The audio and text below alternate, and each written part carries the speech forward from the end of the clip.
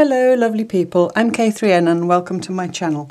Um, in this video I just wanted to run through briefly, briefly for me, uh, what materials and um, supplies you'll need if you wanted to follow along with my um, weekly slow stitch project. Excuse me, that's not a good start. Um, my weekly slow stitch project in 2024 um, which I talked about in my slow stitch and introduction video. So if you're keen to follow along with that, I just wanted to show you the kinds of things that you'll need, which is not much, but I have to um, realise that not everybody's got all the stuff that I've accumulated over the years. So if you're starting from the very beginning, I just wanted to give you some ideas about how to go, go about accumulating some stuff. So um, to begin with, um, I just wanted, yes, I'll start here. To begin with, I'm just going to show you one of my old stitch journals. I keep my slow stitch pieces on the whole in journals. That's absolutely not the only thing you can do with them. I'll talk about that later. Um, but just to give you an idea of the scale of some of the pieces, you see they're tiny, they're small. We're not talking about major, see that against my hand, that little feather? We're not talking about major, huge bits of cloth. You see there, there's only two types of cloth. Uh, no, three types. There's two types of blue. But you see, it's tiny. It, it fits on my hand. So I don't think you have to go and get major yardage. Um, I think probably the principle... Ah, there's that little square I was talking about with my strange colours. Anyway, um, um, the principle is the variety, obviously. Um, so there's all kinds of, there's only tiny bits, but there's lots of them. That was um, a tribute to David Bowie. Um, sorry. um, let me just have another little, see in here there's, in, within this little piece, there's quite a few different, they're tiny scraps, but there's a lot of, of different ones. So how can you go about accumulating those if you don't have lots of scraps? So I would say start locally and work, gravi gravitate outwards like a throw a pebble in a pond, you know, in the ripples. So start in your own home. Um, no, I'm absolutely not suggesting that you go cutting up good clothes that you still wear or whatever. Um, but if you've got a lot of clothes and you've got clothes that you don't wear anymore, or your family have clothes that they don't wear anymore, that's not a bad place to start. I know it's often um, people want to give clothes to charity shops and so on because they're good, and that and that's great to do that. But there are honestly so many clothes in the world. There are billions and billions of tons of textiles that are wasted. So I don't feel too badly about cutting up clothes that could still be used as clothes, if that makes sense. Um, obviously, you know that's down to your judgment and what you want to do. Um, if you can't find enough stuff in your own home, then you can ask friends and family the same question do they have clothes that they don't use anymore, or, you know, household linens or whatever. Um, I like primarily to use natural fibres. So if I was going into a charity shop, for example, I would look for cotton, 100% cotton, or linen, um, or silk and wool. Um, silk and wool are often harder to come by, but cotton and linen certainly. So I've just pulled some scraps here just to show a variety of things. Um, this is against what I just said because this is polycotton, but from a shirt. What I do as well, if I'm even if I'm buying, even if I'm out buying, I'll have a needle. Uh, doesn't even really have to have thread in it and then I'll just try it. And it, I have asked in charity shops if they mind me doing this, and, and nobody's ever said don't do it. And I just see how nicely my needle goes through it because I don't want anything that's going to be fighting me when I'm stitching it. So that, although it's got poly in it, it was actually a bit of a shirt of my dad's. It's still quite nice to sew through. Um, this is furnishing weight fabric, which would be too thick for me anyway to make anything with the seam but it's not mega, mega thick. So if I was going to lay it on and stitch it like that, again, if you try it with your needle, that's lovely to stitch so it's lovely and soft because it's quite old. So that's also fine. This came off an old chair that I recovered. And again, I think it's some kind of polyester, but it's nice to stitch. So you get the idea. This is um, a bit of an old tablecloth. Actually, a friend gave me. Um, This is a piece of shirt. I'm not going to run my needle through everyone. This is a bit of a skirt of my daughter's that ripped beyond repair. Um, this is some linen from a pair of my husband's trousers. This came off a kind of throw thing that had all kinds of stripes in it. And again, it's polyester, but it's interesting and it's nice to stitch. And it's better that I've got it and I'm using it than it ended up in landfill somewhere. Um, piece of stripy shirt, piece of shirt, piece of shirt. Uh, this was a silk scarf that I got in a charity shop and I'm not very blingy, so I'm not really liking the gold down the middle, but the, the body of it is, and it was white, and I've dyed it with tea.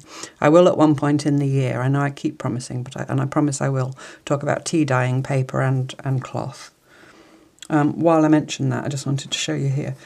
Here is a piece of quilter's cotton that was given to me by a quilter.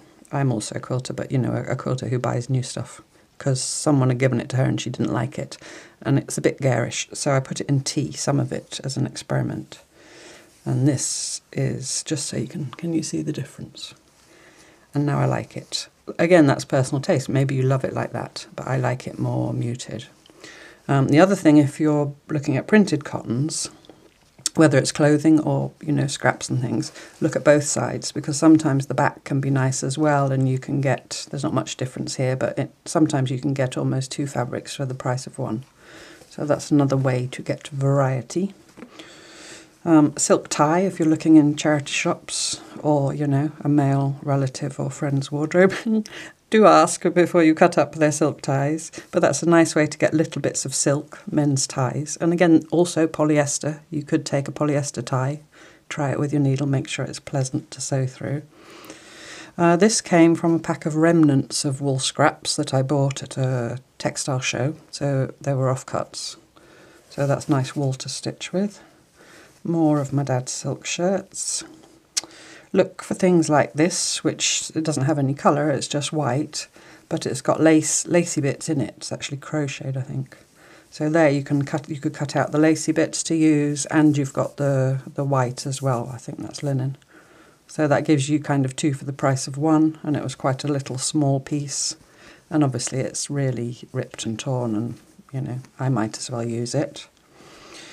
Um, this piece was the same kind of thing as that, only it's got stripes in it. And I looked for something with wider stripes.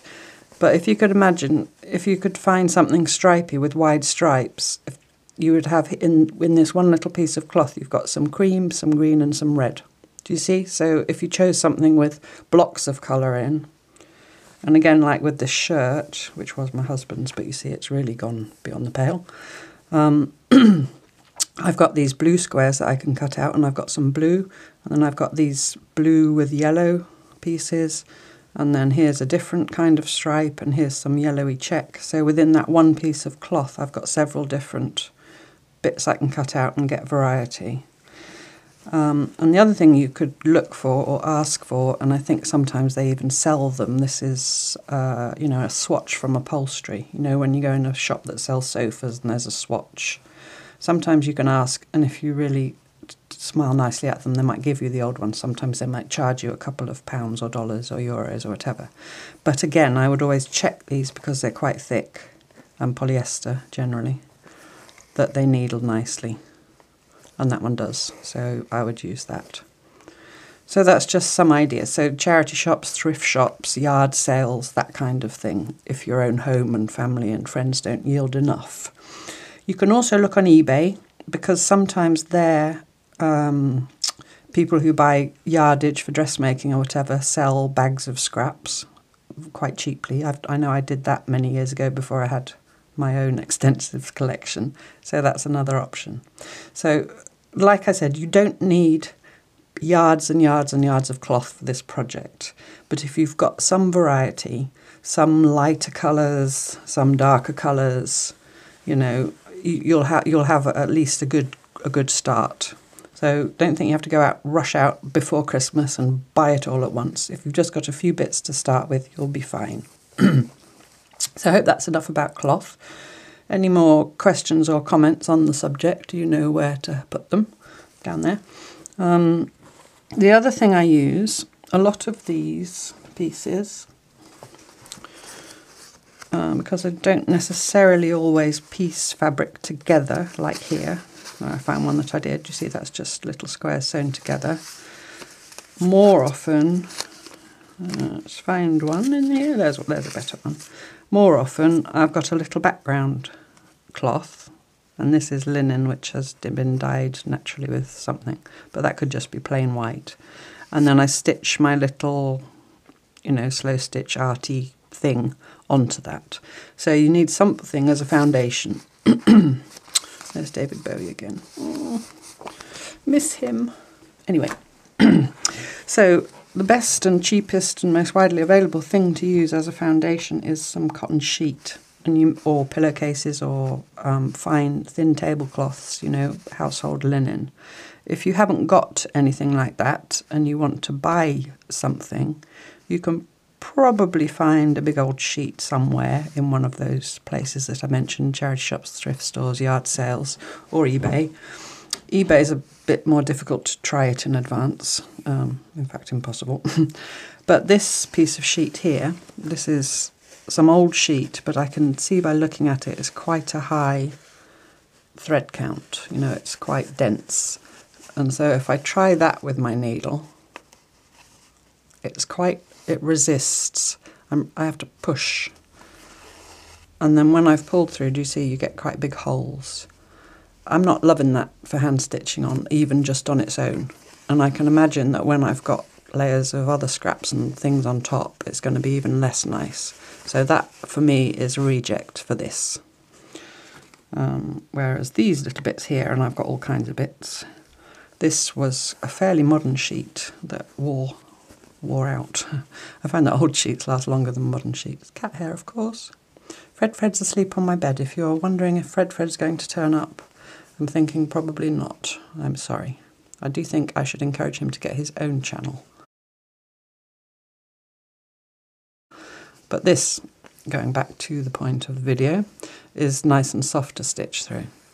So that as a backing cloth would be nice. That's more of the same, I think. So this is some more old sheet that feels soft and is. Sometimes they feel soft, but they resist the needle. Other times, um, like this one, feels quite thick and coarse, but it's nice to stitch. So, you know, it's really worth trying the needle through just to see if you like it because it's so, I can't stress this enough. This whole project is about the making, the process, the enjoyment of the stitching with the thread and the cloth. It's not about making a finished thing, you know, it's the the point is the journey, not arriving. Does that make sense? I hope it does. So try and choose things that are nice to work with. So you need your scraps and you need some little bits and scraps for foundation. And again, they can be, you know, this little piece here. If I can fit it in. We'll probably do two, four, that'll probably do six so that, that little scrap there will be enough for a month and a half. So you don't need acres. Um, so the next thing you need, which I've now buried under everything, are some threads to stitch with. And I'm always on the lookout on my travels for vintage threads because I like to use old stuff wherever possible. A, because it's not encouraging the production of new stuff, and B, because I just think they're nicer. You know, even this little Sylko machine twist, it's not that old, it's maybe 60s or something like that, but it's on a cardboard inner, no plastic, and I just think it's a nice thing, and I use it. Um, ditto these. These are, this is mending cotton, um, which I picked up somewhere again, probably in a charity shop. It's amazing what you can find, and it's stranded. It's four four strands, so you can use it like embroidery cotton, you know, thinner or thicker. This treasure is stranded silk mending thread. Um, Brettles Fenella, stranded silk mending, made in England. Shade Tanzan. But again, and it's got its price in old money, which I can't quite read. But I just love it. And when I've used all the thread, I'll probably use the cardboard somewhere as well, you know, the little packaging thing. Um, these Sylko wooden reels are increasingly hard to come by because everybody's loving them, and why wouldn't you? But and people often buy them for the reels, but you can perfectly use the thread as well. If you're using it to piece, I always do a sturdy test to make sure it's not going to break anywhere. But if you're using it for decorative stitching and it's not really holding anything together, you can double it up to make it thicker or even, you know, double it up twice to make it thicker still. And you get some lovely colours. and even the plastic ones, you know, the more modern ones. Again, this was from a vintage, um, a vintage sewing shop in the UK where they sold all old sewing stuff and it's plastic, wasn't very expensive. I think it was 50p or something like that. Um, but the colour's nice. Um, if you've done any machine work at any point, like I used to do a lot of free machine embroidery, I've still got leftovers of machine. Sorry about the dust. machine um, machine cotton. Again, you can absolutely use that for hand stitching and double it up or triple it or whatever. So those. Um, what else? What else? This the this is French mending um, cotton. Oops, which I got on eBay. I got a big box of navy blue, a big box of black, and a big block box, a big box of white. So look on eBay for for vintage threads. You can often get mixed bags as well. Um, not too expensive if you don't have charity shops. People like to use in terms of new thread, cotton pearl or cotton perle. This is Finca brand Presencia, made in Spain. Um, that's 16 weight, that's slightly thicker. I, I, it's okay. it's not my favourite because I find it quite hard compared to embroidery floss. That, that I don't know how to explain it. It's quite shiny and not stiff, but I find the embroidery floss softer. But you know, again, it's personal taste. If you've got loads of this, don't go. Oh no, you can absolutely use that. It's absolutely fine. Um, the thickest thread I'd probably use for sewing with is this is eight weight um, cotton. I don't think it's perle, but it's something of that same nature. And I can't even remember where it came from. but that's about as thick as I'd go. If you don't know about weights of thread, um, the smaller the number, the thicker the thread, basically. Machine cotton like that is a 50 weight and this is an 8 weight, so this is much thicker than that.